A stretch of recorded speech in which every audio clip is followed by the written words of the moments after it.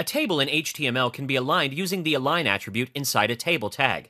The align attribute is deprecated in HTML 4.0 and is not supported by HTML5.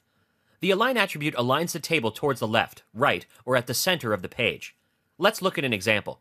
Over here, we have a simple table with two columns and three rows. We can align this table to the right using the align right attribute inside a table tag. Here is the code snippet for the table. Over here, next to the border attribute, let's add the align attribute and align the table towards the right side of the page. With that done, let's check on the output.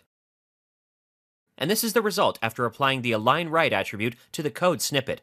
Similarly, the table can be aligned to the left using the align left attribute inside a table tag. All you have to do is change the align right attribute to left.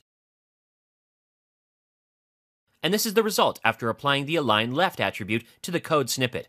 You can see that the table automatically moves towards the left side of the page. In the same way, a table can be aligned to the center of the page using the align center attribute inside a table tag. And this is the result after applying an align center attribute to the code snippet.